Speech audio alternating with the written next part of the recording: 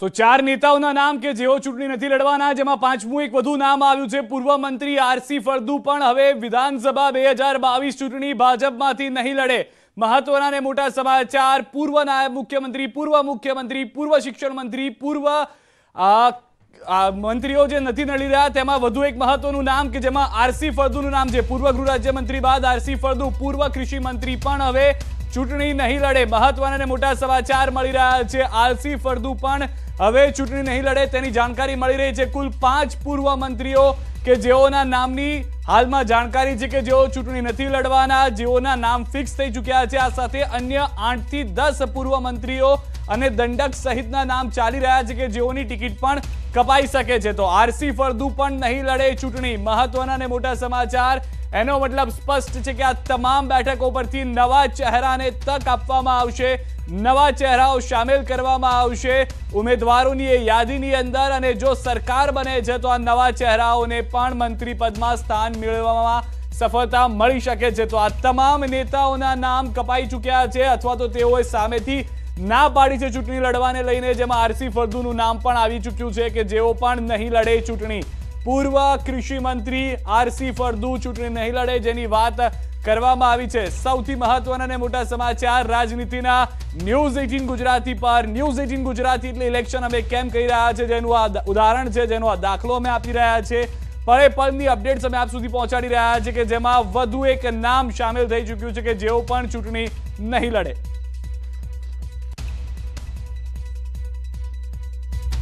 તો ગુજરાતની રાજનીતિના વધુ એક મહત્વના સમાચાર, રજની પટેલને મળી શકે છે મહેસાણાથી ટિકિટ. ધોળકાથી મહત્વના સમાચાર છે તે પહેલા, ભાજપના દિગ્ગજ નેતાઓની જાહેરાત બાદ કોંગ્રેસનું આ મંથન એક તરફ છે તે પહેલા ભાજપના દિગ્ગજો ચૂંટણી લડવાથી ભાગી રહ્યા હોવાની વાત કરવામાં આવી છે.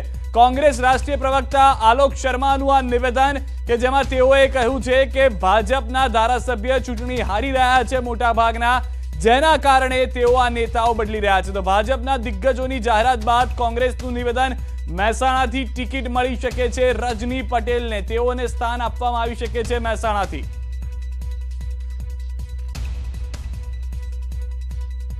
તો ભાજપના દિગ્ગજોની જાહેરાત બાદ કોંગ્રેસનું આ નિવેદન છે. ભાજપના દિગ્ગજો ચૂંટણી લડવાથી ભાગી રહ્યા હોવાની વાત કરવામાં આવી છે. કોંગ્રેસ રાષ્ટ્રીય પ્રવક્તા આલોક શર્માએ નિવેદન આપ્યું છે કે જે ધારાસભ્યો અથવા તો પૂર્વ મંત્રીઓ હાર પોતાની બેઠક ઉપરથી જોઈ ચૂક્યા છે. તેઓ ગુજરાતની અંદરથી પોતાના ચૂંટણી નહીં લડવાના નિર્ણયને આગળ મૂકી રહ્યા છે. રજની પટેલને મળી શકે છે મહેસાણાથી ટિકિટ. ધોળકાથી કોઈ નેતાને મળી શકે છે ટિકિટ. રાજકોટ પશ્ચિમ બેઠકથી કમલેશ મીરાણી સૌથી આગળ ચાલી રહ્યા હોવાની પણ જાણકારી છે કે જ્યાં આગળ પાટીદારો દ્વારા પણ લોબિંગ કરવામાં આવ્યું હતું. રમેશ તિલાલાએ પણ ઈચ્છા વ્યક્ત કરી હતી. ખુદ વજુભાઈ વાળાના પીએ માટે પણ ટિકિટ માંગવામાં આવી હતી. અને હવે જાણકારી મળી રહી છે કે રાજકોટ પશ્ચિમ બેઠકથી કમલેશભાઈ મીરાણીનું નામ આગળ ચાલી રહ્યું છે. એટલે કે ખુદ પૂર્વ મુખ્યમંત્રી એ બેઠક પરથી કમલેશ મીરાણીને જીતાડવા માટેના પ્રયાસ કરશે. આ તમામની વચ્ચે મહેસાણાથી મોટા સમાચાર છે રજની પટેલને લઈને.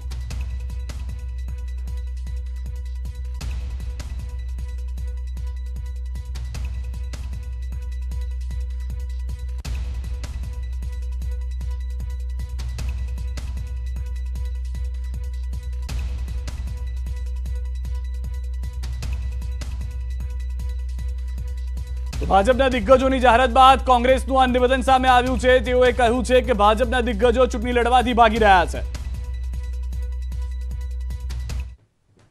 तमाम बीजेपी नेताओं के सीनियर नेताओं के गुजरात के वक्तव्य आ रहे हैं कि वो चुनाव लड़ने से भाग रहे हैं विजय रूपाणी हो चाहे नितिन पटेल हो चाहे चुड़ासमा जी हो तमाम सीनियर लीडर्स चुनाव लड़ने से इसलिए भाग रहे हैं कि गुजरात के अंदर भ्रष्टाचार का जो राज व्याप्त रहा है पूरी तरह से वो अब जनता के बीच में मोरबी कांड के बाद कोरोना के बाद महंगाई और बेरोजगारी के बाद पूरी तरह से उजागर हो गया है आज बीजेपी ने चुनाव लड़ने से पहले हार मान ली है તો ભાજપ એક તરફ નવી કેડરને તૈયાર કરવાની વાત કરી રહ્યું છે બીજી તરફ કોંગ્રેસનો આરોપ છે કે જે ધારાસભ્યો અને પૂર્વ મંત્રીઓ છે તેઓ ડરી ગયા હોવાથી આ ઉમેદવારી નથી કરવા માંગતા. બીજી તરફ ભાજપનું કહેવું છે કે હવે આ સિનિયર નેતાઓની આગેવાનીમાં તેઓના નેતૃત્વની અંદર એક નવી કેડર તૈયાર કરવામાં આવશે જે મંત્રીમંડળમાં પણ સ્થાન લેશે.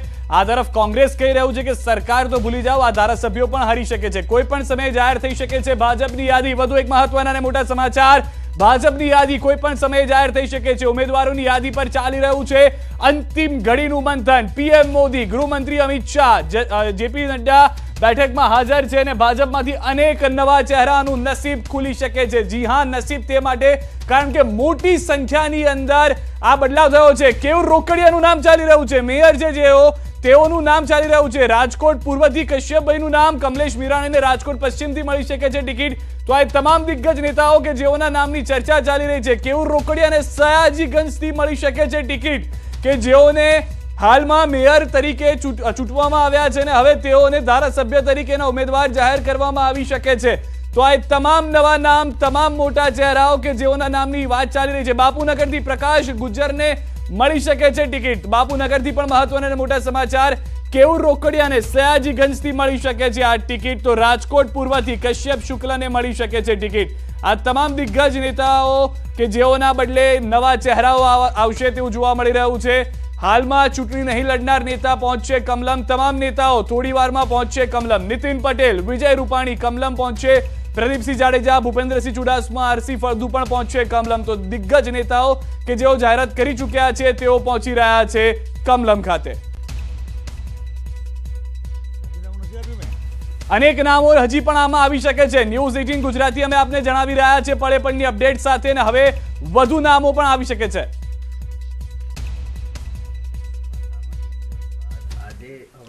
ચૂંટણી નહીં લડવાની જાહેરાત વાત કરી છે. તમે ભાજપમાંથી હવે ચૂંટણી નહીં લડો. જે પણ ઉમેદવાર આવશે તેને જીતાડવાની વાત કરી છે. શું કહેશો? આજે જાહેરાત કરી છે તમારી સમક્ષ. પરંતુ ઈચ્છા વ્યક્ત કરી છે એક વર્ષ પહેલાં. સત્તાવીસ ઓક્ટોબર બે હજાર એકવીસના દિવસે દિલ્હી જઈને માન્ય અમિતભાઈ શાહના નિવાસસ્થાને જઈને મેં મારી ઈચ્છા વ્યક્ત કરી હતી. કે હું બાવીસની ચૂંટણી લડવા માગતો નથી. કારણ પાર્ટીએ મને, પાર્ટીની સ્થાપના કાળથી જ તે, એંસીમાં સ્થાપના થઈ અને મને ટિકિટ આપી. ત્યારથી લઈને મને નવ વખત ટિકિટ આપી. નવે નવ વખત મારું એકનું જ નામ મારા વિસ્તારમાંથી આવ્યું. આવું ભાગ્યે જ બનતું હોય છે. આ વખતે પણ એક જ નામ આવ્યું છે. મને પાર્ટીએ જેટલી વાર જીત્યો એટલી વાર પાંચે પાંચ વખત કેબિનેટનો મંત્રી બનાવ્યો હાર્યો તો ચેરમેન બનાવ્યો જાહેર જીવનમાં આનાથી વધારે શું હોઈ શકે?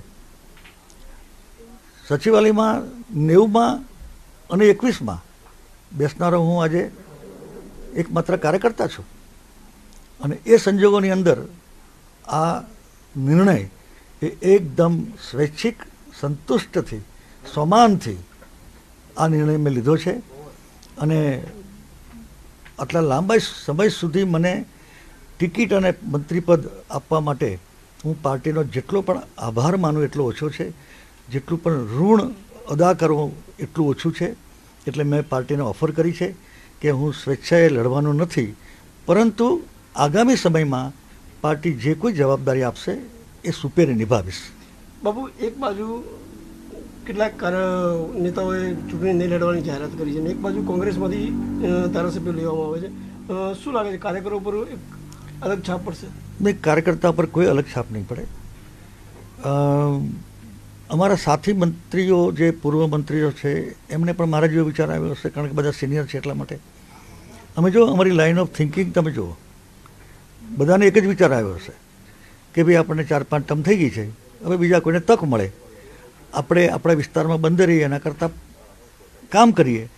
અને જે રેકોર્ડ બ્રેક સીટો લાવવાની છે, એ સીટો લાવવામાં આપણે કામ કરીએ. આ જ બધાનું સેમ થિંકિંગ આ સેમ થિંકિંગ બધાનું હોય, એ પણ પાર્ટીની મૂડી છે ભાઈ.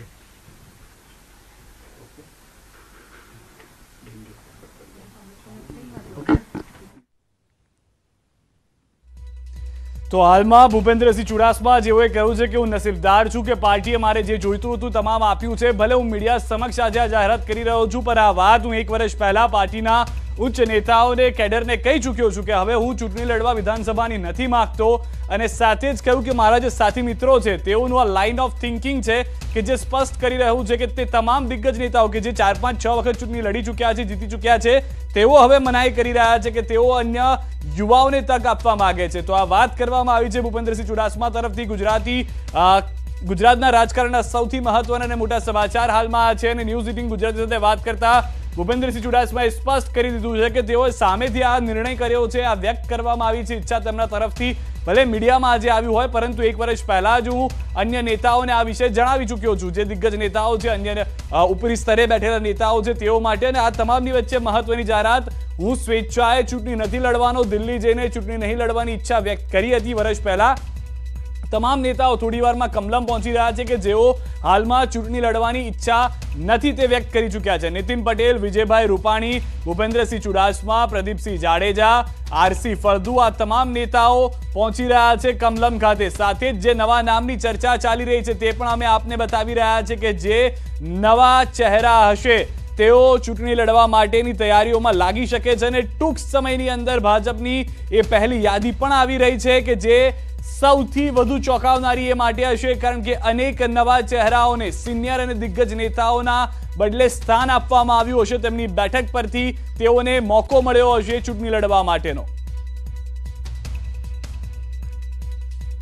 તો ભાજપના ઉમેદવારને લઈને મોટા સમાચાર હાલમાં મળી રહ્યા છે. જે અમે આપને જણાવીએ કે ભાજપના સિદ્ધપુરથી બળવંતસિંહ રાજપૂતને મળી શકે છે ટિકિટ. જી હા, બળવંતસિંહ કે જેઓ રાજ્યસભામાં ગયા હતા પરંતુ સાંસદ ન બની શક્યા અને હવે તેઓની ટિકિટ મળી શકે છે. પાર્ટીથી કનુભાઈ દેસાઈને મળી શકે છે ટિકિટ. અલ્પેશ ઠાકોરને રાધનપુરથી મળી શકે છે ટિકિટ. પરણું પરણું કરી રહ્યા છે તેઓને. આ લાભ થઈ શકે છે. વરરાજા બની શકે છે રાધનપુરથી. પરણાવવાની ઈચ્છા તેઓએ વ્યક્ત કરી હતી ને હવે जनता परणावे कि नहीं जो रहे परंतु वर राजा हो सके अल्पेश ठाकुर दिल्ली की बुध महत्ति मिली न्यूज़ इन संवाददाता रचना अमरी साथ जड़ाला है ऋषिकेश भाई पटेल ने विसनगर की मिली सके रचना कितनी देरी में ये जो यादी है या जो नया लिस्ट है वो आ सकता है और क्या अपडेट है आपके पास क्योंकि यहाँ पे अलग अलग नए नए चेहरे की बात भी हो रही है कि जो पूर्व नेता है पूर्व मंत्री उनके बदले वो आ जाएँगे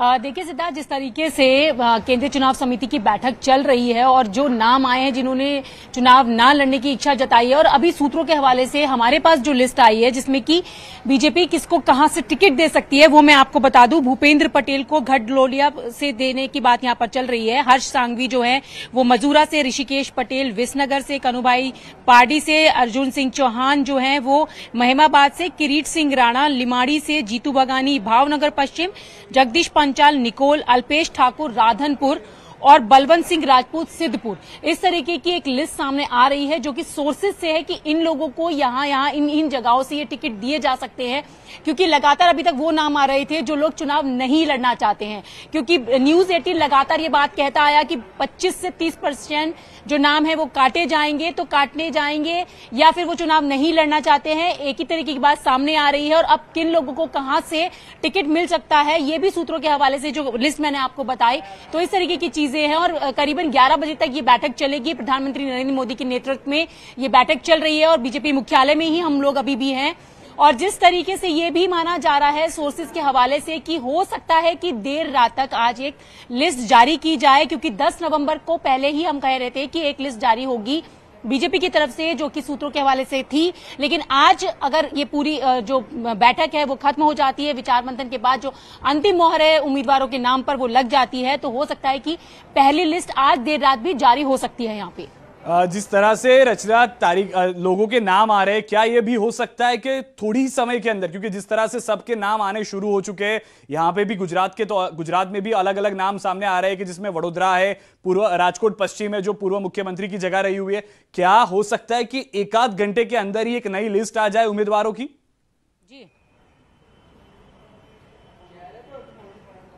बिल्कुल अ, सिद्धार्थ हो सकता है क्योंकि साढ़े आठ अभी बज रहे हैं और बैठक दस साढ़े दस ग्यारह बजे तक चलेगी तो बैठक खत्म होते ही हो सकता है कि एक जो पहली लिस्ट है जिसका इंतज़ार सभी कर रहे हैं कि कौन से वो उम्मीदवार होंगे बीजेपी की तरफ़ से जो चुनावी मैदान में उतरेंगे, उनके नाम सामने आ जाए। क्योंकि जिस तरीके से सोर्सेस के हवाले से नाम सामने आ रहे हैं, अंतिम मोहर लगना बाकी है और उसके बाद बीजेपी अब ज़्यादा इंतज़ार नहीं कराएगी क्योंकि समय भी बेहद कम बचा है और इलेक्शन होने हैं एक और पाँच तारीख को जो महत्वपूर्ण तारीख है। आठ तारीख को रिज़ल्ट आना है। तो प्रचार के लिए उम्मीदवारों को भी इंतज़ार है कि कब उनके नाम सामने आए और ज़ोर शोर से जो प्रचार प्रसार है, वो शुरू हो क्योंकि हिमाचल में कल प्रचार का आखिरी दिन है और उसके बाद पूरा जो दमखम रहे, वो गुजरात चुनाव पर ही रहने वाला है। तो ऐसे में उम्मीदवारों के जो नाम है, वो कल तक जो लिस्ट है वो ज़ाहिर हो सकती है और पहली लिस्ट है कि आज देर रात तक भी सामने आ सकती है, जो कि हमारे सोर्सेज के हवाले से खबर आ रही है सामने। रचना, एक और भी जानकारी आ रही है कि इस बार भाजपा अगर नए चेहरों के साथ जा रही है तो हो सकता है कि 100 से ज़्यादा उम्मीदवारों की लिस्ट आ जाए कि जिसमें नए चेहरे भी शामिल हो, ना कि वो फ़ेज़ टू की राह देखे या इंतज़ार करे, ना ही फ़ेज़ वन को लेकर टारगेट करे। वो हो सकता है कि सौ से भी ज़्यादा नाम की लिस्ट ये पहली लिस्ट में आ जाए।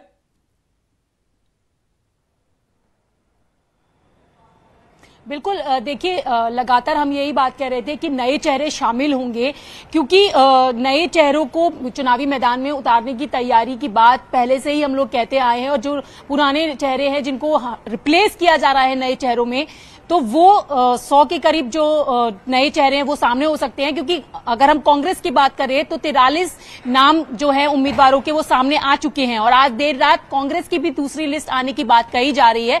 तो ऐसे में पहली लिस्ट जो है वो सौ उम्मीदवारों के नाम की बीजेपी ज़ाहिर कर सकती है, सामने ला सकती है। ये इस तरीके की जो खबरें हैं वो सामने से आ रही हैं, और नए चेहरों की बात अगर हम करें तो हम लगातार ये बात कह रहे थे कि नए चेहरे शामिल होंगे, युवा चेहरे शामिल होंगे, क्योंकि जिस तरीके से पूरी कैबिनेट एक तरीके से बदली गई थी विजय रूपानी जब सीएम थे उनको रिप्लेस करके भूपेंद्र पटेल को लाया गया था। तो इस बार एक नया एक्सपेरिमेंट बीजेपी यहाँ पे करने के मूड में नज़र आ रही है। और सबसे बड़ी बात है कि जो बैठकों का दौर चल रहा है वो बैठकें सिर्फ़ इसीलिए कि किसी तरीके की कोई नाराज़गी कहीं पर ना हो किसी तरीके की कोई विवाद की स्थिति ना हो। और अ, आपने जब आज देखा कि प्रधानमंत्री नरेंद्र मोदी यहाँ पर पहुँचे बीजेपी मुख्यालय में और जो तमाम अ, केंद्रीय चुनाव समिति के सदस्य थे तो वो बेहद कॉन्फिडेंट नज़र आ रहे थे और पूरी तरीके से आश्वस्त नज़र आ रहे थे कि जो भी नाम सामने आएँगे, वहाँ उन नामों से किसी को कोई समस्या नहीं होगी और किसी भी तरीके की कोई ऐसी स्थिति नहीं पैदा होगी जिसका सामना आगे चलकर परेशानी यहाँ पर खड़ी कर पाए। જી રચના આપ અમારી સાથે જોડે રહી ઓર બી જાણકારી આપસે લેતા रहेंगे તો દિલ્હીથી મહત્વના અને મોટા સમાચાર હાલમાં જે રીતે રચના જણાવી રહ્યા છે અનેક એવા નામો છે કે જે હું આપના માટે ફરીથી જણાવી દઉં કે જે નામ નિશ્ચિત માનવામાં આવી રહ્યા છે બેઠક સાથેના જે રચનાએ પણ હાલમાં જણાવ્યા છે ભૂપેન્દ્ર પટેલ કે જેઓ ઘાટોડિયાથી ચૂંટણી લડી શકે છે હર્ષ સંઘવી મજૂરાથી લડી શકે છે ઋષિકેશ પટેલ વિસનગરથી ચૂંટણી લડી શકે છે, કનુભાઈ દેસાઈ પારડીથી ચૂંટણી લડી શકે છે, અર્જુનસિંહ ચૌહાણ મહેમદાબાદથી ચૂંટણી લડી શકે છે, કિરીટસિંહ રાણા જેઓ લીમડીથી ચૂંટણી લડી શકે છે, જીતુ વાઘાણી કે જેઓ ભાવનગર પશ્ચિમ અને જગદીશ પંચાલ કે જેઓ નિકોલથી ચૂંટણી લડી શકે છે. આ આઠે આઠ નામ એ છે કે જે હાલના મંત્રીઓ છે, જે નવી કેબિનેટ બની છે નવી સરકારની સાથે મુખ્યમંત્રી તરીકેની જવાબદારી ભૂપેન્દ્ર પટેલને આપવામાં આવી એ તમામ તેઓ મંત્રી સાથે હતા. પરંતુ અન્ય બે મહત્વના નામ કે જેઓ કોંગ્રેસમાંથી ભાજપમાં આવ્યા જેમાં અલ્પેશ ઠાકોર કે જેઓને ચૂંટણી લડવાનો મોકો આપ્યો, પરંતુ રાધનપુરની અંદર તેઓની પેટા ચૂંટણીમાં હાર થઈ હતી. ફરી એક વખત તેઓને ઉમેદવાર તરીકે જાહેરાત કરવામાં આવી શકે છે રાધનપુરથી. અને બીજી તરફ, બલવંતસિંહ રાજપૂત. બલવંતસિંહ રાજપૂત એ નેતા કે જેઓ કોંગ્રેસમાંથી ભાજપમાં આવે, રાજ્યસભામાં તેઓને ઉમેદવાર તરીકે ભાજપે જાહેર કર્યા. કેટલાક મતથી તેઓ રાજ્યસભામાં સાંસદ ન રહી શક્યા, પરંતુ ત્યારબાદ પણ તેઓ સતત કાર્યરત રહ્યા અને હવે તેને એમને લઈને આ રિવોર્ડ મળી શકે છે. જેમાં બળવંતસિંહ રાજપૂતનું પણ નામ ચાલી રહ્યું છે ને એ પણ વાત સ્પષ્ટ છે કે જો બળવંતસિંહ રાજપૂત સિદ્ધપુરથી લડે છે, તો ટૂંક સમય પહેલા જ જયનારાયણ વ્યાસે પણ રાજીનામું ભાજપમાંથી આપ્યું હતું ને કહ્યું હતું કે હજી પણ હું સિદ્ધપુર માટે કામ કરવા ઈચ્છું છું, તો તેઓ ત્યાં આગળ હોઈ શકે છે. પરંતુ આ તમામની વચ્ચે મહત્વના અને મોટા સમાચાર મળી રહ્યા છે. આ આઠ એ ચહેરાઓ છે કે જેઓ નક્કી માનવામાં આવી રહ્યા છે. સૂત્રો પાસેથી જે માહિતી છે, તેઓની બેઠક નક્કી માનવામાં આવી રહી છે. જેઓ ત્યાંથી ચૂંટણી લડતા જોવા મળી શકે છે. તો મહત્વના અને મોટા સમાચાર હાલમાં મળી રહ્યા છે. ટૂંક સમયની અંદર આ તમામ નામોની જે યાદી છે, તે પણ જાહેર થઈ શકે છે. અને સૌથી વધારે મહત્વની વાત છે કે જ્યાં સિદ્ધપુરની બેઠક છે, તે આગળ બલવંતસિંહ રાજપૂતનું નામ ચર્ચામાં છે. શક્યતાઓ છે કે સિદ્ધપુરથી તેઓને ટિકિટ આપવામાં પણ આવશે અને તેના અનુસાર કદાચ થોડા સમય પહેલા ભાજપના અનેક કાર્યકર્તાઓને પણ આવી ગયા હશે નેતાઓને પણ આવી ગયા હશે કે તેઓ રાજીનામું તેને લઈને પહેલા જ આપી ચૂક્યા છે. પારડીથી કનુભાઈ દેસાઈને મળી શકે છે ટિકિટ. હાલના સૌથી દિગ્ગજ નેતા અને મંત્રી તરીકે તેઓ કાર્યરત છે. અલ્પેશ ઠાકોરને ફરી વખત રાધનપુરથી ઉમેદવાર જાહેર કરી શકે છે. મોકો આપવામાં આવશે અલ્પેશને. કે તેઓ ફરી એક વખત રાધનપુરથી લડે અને આ વખતે તેઓ જીતીને બતાવે, સિદ્ધપુરથી બળવંતસિંહનું નામ પણ આગળ ચાલી રહ્યું છે. પારડીથી કનુભાઈ દેસાઈની સાથે કુલ આઠ મંત્રીઓ કે જેઓને મળી શકે છે. તો મોટા અને મહત્વના સમાચાર, વિજય રૂપાણી, નીતિન પટેલની મોટી જાહેરાત. વિજય રૂપાણીની ચૂંટણી ન લડવાની આ જાહેરાત હતી. નીતિન પટેલની પણ ચૂંટણી ન લડવાની જાહેરાત. સી આર પાટીલને પત્ર લખીને કરી છે જાણ. જે વાત કરવામાં આવી છે, નીતિન પટેલનો જે પત્ર છે, તે હું આપને વાંચી સંભળાવું. તો તેમાં તેઓએ લખ્યું છે કે ગુજરાત રાજ્યમાં વર્ષ બે હજાર બાવીસમાં વિધાનસભાની ચૂંટણીમાં હું મહેસાણા બેઠક પરથી ઉમેદવાર કરવા ઈચ્છતો હતો. શું કહ્યું હતું નીતિન પટેલે? વાતચીત દરમિયાન ન્યૂઝ એટીન ગુજરાતીને તે પણ સંભળાવીએ. હું તો પાર્લામેન્ટરી બોર્ડનો પણ સભ્ય છું અને પાર્લામેન્ટરી બોર્ડમાં માનનીય અમિતભાઈ શાહ, અમારા પ્રદેશ અધ્યક્ષ શ્રી સી આર પાટીલ અમારા સંગઠન મહામંત્રી શ્રી રત્નાકરજી આ બધા સાથે અવરનવર અમારે ચર્ચા થયેલી જ હતી અને પક્ષની ઈચ્છા હતી કે હું છું, વિજયભાઈ છે, ભૂપેન્દ્રસિંહજી છે, એવા બધા આ વખતે પક્ષને વધુ સીટો મળે એ માટે વધુ કાર્ય કરીએ, સંગઠનનું કામ કરીએ, પ્રચારનું કામ કરીએ અને પક્ષને જ્યાં જ્યાં જરૂર હોય ત્યાં જઈ અને વધુને વધુ સીટો ગુજરાતમાં ભારતીય જનતા પક્ષની આવે એ માટે અમારા અત્યાર સુધીનો અનુભવનું, અમારા સંબંધોનું એ બધો લાભ પક્ષને આપીએ.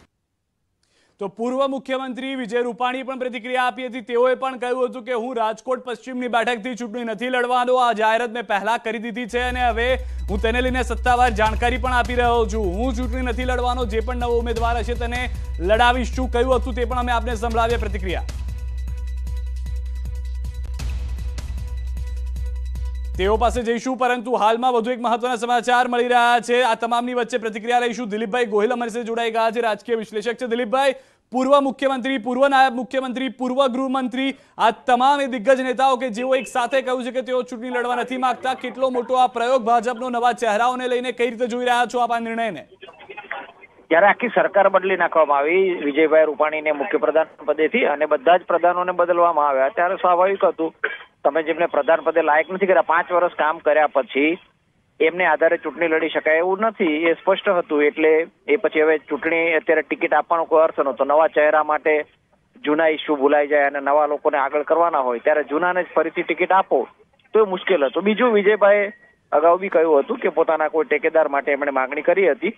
પોતે ચૂંટણી નહીં લડે એ સ્પષ્ટ હતું. એ જ રીતે નીતિનભાઈને પણ નહીં ટિકિટ મળે એ સ્પષ્ટ હતું. એ જ રીતે બાકીના જે પ્રધાનો છે જૂના એમને પ્રધાન પદેથી દૂર કર્યા હોય અને પછી એમાંથી કેટલાકને કદાચ મળી જશે ટિકિટ, પણ રાજેન્દ્ર ત્રિવેદી છે એમને ખાતું પણ લઈ લેવું પડ્યું હોય અને છતાં કામગીરી સારી ન હોય તો કઈ રીતે ટિકિટ આપી શકાય? આ બધા સવાલો હતા. કોંગ્રેસમાંથી જે આવ્યા હતા અને એમને પ્રમુખ પ્રધાન બનાવ્યા હતા. હવે એમને એ તો પોતાની મજબૂતી ઉપર આવ્યા હોય છે. એટલે કદાચ એમને ફરીથી ટિકિટ આપવી જરૂરી હોય છે. બાવળિયાએ તો પોતાની રીતે પ્રચાર શરૂ પણ કરી દીધો છે. જયેશ રાદડિયાને પણ લગભગ ટિકિટ મળી જશે. આવું લાગે છે. એટલે વિજયભાઈએ તો કબૂલ કર્યું જ હતું કે પોતે નથી લડવાના. અને એ જ રીતે હવે આજે પક્ષે જ્યારે ફાઇનલી જણાવી દીધું હોય કે અન્ય ઉમેદવારોને હવે પસંદ કરી લીધા છે, ત્યારે એક સારી, એક સારું નિવેદન જાય અને અસંતોષ નથી અને આ બંને નેતાઓને મનાવી લેવાયા છે, એવું કહેવા માટે જણાવાયું હોય. અને બહુ વર્ષોથી આ બંને નેતાઓ પક્ષમાં રહ્યા છે, એટલે એમણે આ રીતે જાહેરમાં નિવેદન કર્યું હોય, જેથી સૂચના પ્રમાણે કે હવે અમે ચૂંટણી લડવાના નથી. એટલે એ રીતે એ ધાર્યા પ્રમાણે જ આ નિર્ણય આવ્યો છે. અને એ જ રીતે બંને નેતાઓએ જૂના નેતાઓ છે સ્વાભાવિક છે અસંતોષ વ્યક્ત ન કરે પરંતુ પક્ષના લાઈન પ્રમાણે હવે અમે નથી લડવાના એવી જાહેરાત કરી. ભૂપેન્દ્રસિંહ ચુડાસમા સહિત અનેક નેતાઓના નામ છે. એક તરફ કોંગ્રેસ કહી રહ્યું છે કે આ લોકો હાર ભાળી ગયા છે એટલે તેઓ ચૂંટણી નથી લડવા માંગતા. શું રિયાલિટી ગ્રાઉન્ડ રિયાલિટી આપ જોઈ રહ્યા છો? ભૂપેન્દ્રસિંહ માટે તો એમનો કેસ સુપ્રીમ કોર્ટમાં ચાલે છે. એટલે એમના માટે પણ કન્ટિન્યુ કરવું મુશ્કેલ હતું. એટલે જે બી કેટલાક સિનિયરોને બદલાશે, આપણે ધારણા જ હતી. હવે કેટલા લોકોને મળે છે, મને લાગે છે, એ સમાચાર બનશે કે જૂના જે આખું પ્રધાનમંડળ દૂર કર્યું, એમાંથી કેટલા પ્રધાનોને હવે મળી ગઈ ટિકિટ, એ લિસ્ટ આવશે. ત્યારે મને લાગે છે, એ સમાચાર બનશે, જેને નથી મળવાના. એ સમાચાર ન બનવા જોઈએ, કારણ કે પાંચ વર્ષની કામગીરી પછી, અથવા તો અમુક વર્ષોની કામગીરી પછી પ્રધાન પદેથી દૂર કરવામાં આવ્યા હોય. એનો મતલબ કે એમની કામગીરીથી સંતોષ ન હતો અને નવાને તક આપવાની છે. એટલે એ ન આપવામાં આવે એક્સપેક્ટેડ લાઈન ઉપર છે. કોને ટિકિટ કન્ટિન્યુ રહેશે એ મને લાગે છે સમાચાર બનશે. દિલીપભાઈ, એક એક વાત એ પણ ચાલી રહી છે કે કેવું રોકડિયા, સયાજીગંજથી રાજકોટ, પૂર્વથી કશ્યપ, શુક્લા તમામ એ નવા ચહેરા છે જેની આપ વાત કરી રહ્યા છો કે જેઓની ટિકિટ મળી શકે છે. હવે આ લોકો માટે જીત અને સાથે સિનિયર નેતાનું જે મહત્વ છે, કેટલું થઈ જાય છે અહીંયા જીતાડવા માટેનું ભાજપના ઉમેદવાર તરીકે? એટલે જો આ કેટલીક બેઠકો એવી છે જ્યાં પક્ષ પોતાની રીતે મજબૂત છે એટલે ઉમેદવાર બદલાઈ જાય. છતાં પક્ષને બહુ મુશ્કેલી થતી નથી. રાજકોટ, શહેરી ખાસ કરીને શહેરી વિસ્તારની બેઠકો હોય, એમાં રાજકોટ પણ આવી જાય, વડોદરા અને અમદાવાદ પણ આવી જાય અને સુરતની પણ કેટલીક શહેરી બેઠકો છે, એ પક્ષની રીતે બહુ મજબૂત છે એટલે જ્યાં ઉમેદવાર બદલાઈ જાય. તો મુશ્કેલી ન થાય. બીજું જે ખરેખર સિનિયર નેતા હોય આખો દાયકો કાઢી નાખ્યો. એમાંથી કોઈક અપવાદરૂપ કિસ્સામાં અસંતોષ વ્યક્ત થતો હોય છે અને અસંતોષ તરીકે બહાર આવતા હોય છે. પણ અત્યાર સુધી એવું જોવા મળ્યું છે કે ગુજરાતમાં એવું બનતું નથી. હિમાચલ પ્રદેશમાં બાર ધારાસભ્યોએ બળવો કર્યો હતો. એમાંથી સાતને મનાવી લેવાય પણ પાંચસો હજી બી અપક્ષ તરીકે ઉમેદવારી કરી રહ્યા છે ને બળવા ભૂતપૂર્વ ધારાસભ્ય ભૂતપૂર્વ હારેલા ઉમેદવાર અને ભૂતપૂર્વ સાંસદ એવા બીજા સત્તર જણ એમ એકવીસ જણ અસંતુષ્ટ બનીને હિમાચલમાં ચૂંટણી લડી રહ્યા છે. ગુજરાતમાં કદાચ એની સંખ્યા ઓછી હશે અને જે. બહુ સિનિયર હોય એ લોકો સ્વાભાવિક રીતે ભૂપેન્દ્રસિંહ પણ હોય એ પણ સ્વાભાવિક છે કે જાહેરમાં પોતાનો અસંતોષ વ્યક્ત ન કરે. આટલા સમય તક આપ્યા પછી નવાને તક આપવાની વાત કહી રહ્યા છો કે કદાચ બની શકે છે કે હજુ પણ નવા ચહેરાઓ હોઈ શકે છે જેઓને સ્થાન મળી શકે છે અને ન્યૂઝ એટીન ગુજરાતી